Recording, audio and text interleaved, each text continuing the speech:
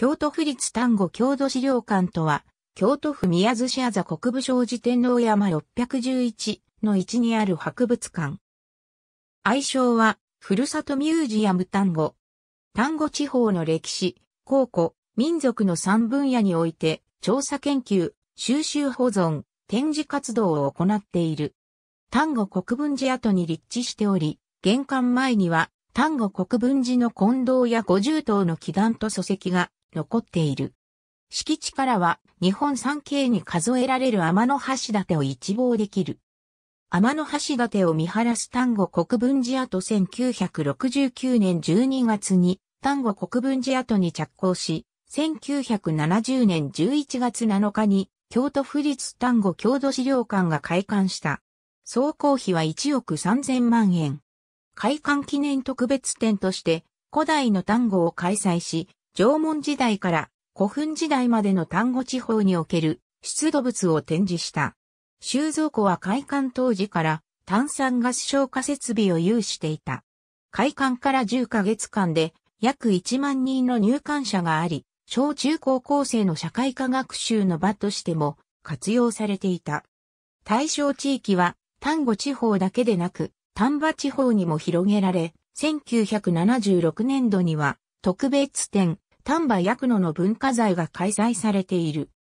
1981年10月、宮津塩屋でのみ技術継承されていた藤布についての記録、藤売りの世界をまとめ、1983年12月16日に、丹後の藤布防食習俗として、記録作成等の措置を講ずべき無形の民族、文化財に選択される礎を築いた。1985年度から1986年度にかけての2年間には国の補助事業で丹後の防食習俗調査を実施し、丹後半島の海岸部及び山間部の12地区を対象に聞き取りや資料調査を行い、衣生活の全体像と地域的特色を研究、関連資料の収集に努めた。これら防食習俗に関する収集物1022点のうちの732点が、単語の防食用具及び製品として2010年3月11日に国の重要有形民族文化財に指定された。1995年には、現在の京丹後市丹後町から京都府指定文化財の農家をもや、旧長島家住宅を敷地内に移築した。建物そのものも資料として常設展示をしながら体験教室等としての活用を図る。2012年9月、博物館法に基づく博物館に登録された。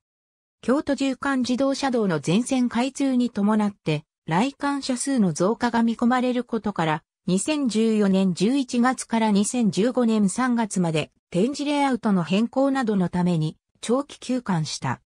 2015年4月1日のリフレッシュオープンの際には展示の物語性が強調され、常設展示には古代の単語王国、中世の天の橋立周辺の寺社、近世の北前船というテーマが設けられた。2015年度には丹後郷土資料館に保管されている丹後半島の漁労用具888点が国の登録有形民族文化財に登録された。明治時代から昭和時代初期の丹後半島で漁業に使用されたものであり、木造の漁船、漁師の弁当箱、岩場で履く荒地などを内包している。2019年度には、個人から丹後郷土資料館に帰宅されている加藤家文書4571点が京都府暫定登録文化財に登録された。江戸時代末期から明治時代に海戦の先導だった加藤家に伝わる文書群である。2020年に開館50周年を迎えた。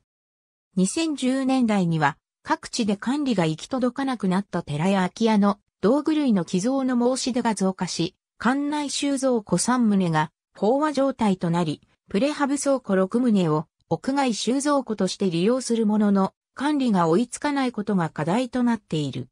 丹後郷土資料館の所蔵品は約11万点であり、加護神社の海部死刑図など、所有者から帰宅されている国宝、重要文化財10件を含む。丹後の歴史と文化をテーマに常設展を設置している。ほか、特別企画展とミニ企画展を年間に計4回程度開催する。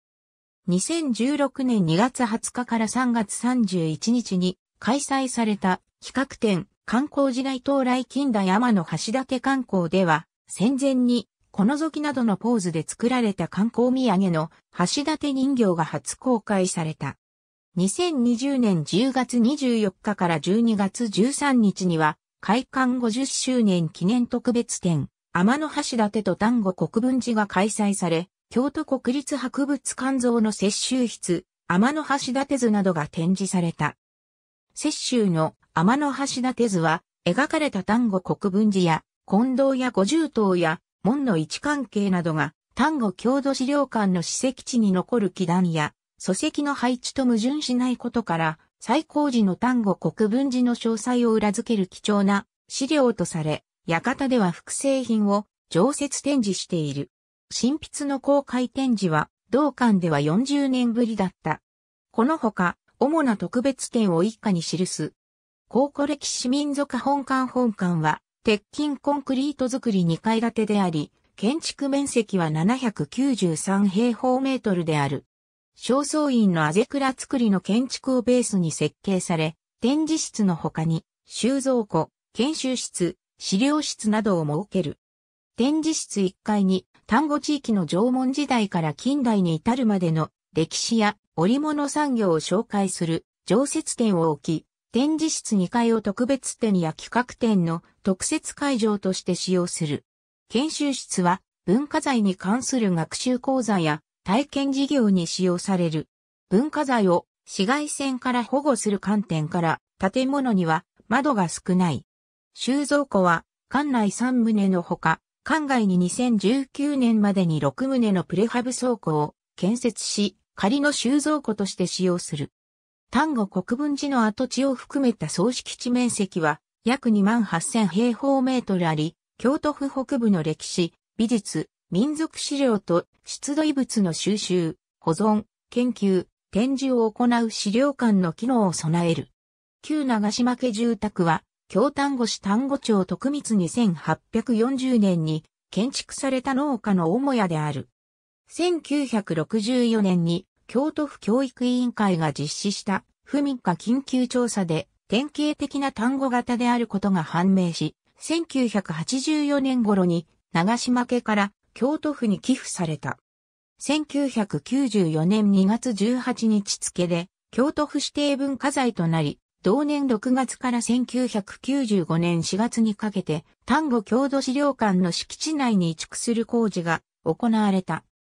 長島家は、江戸時代には、宮津藩でも名の知れた庄屋であり、母屋は、かやぶき屋根に、鉄砲両が目を引くと整ったもので、丹後地方の民家の特徴である、平入り広間型三間取りが、正型4、間取りへ移行した初期の建物の特徴を残している。移築された1994年時点で、単語型の間取りの民家は数軒しか残っていなかったとされる。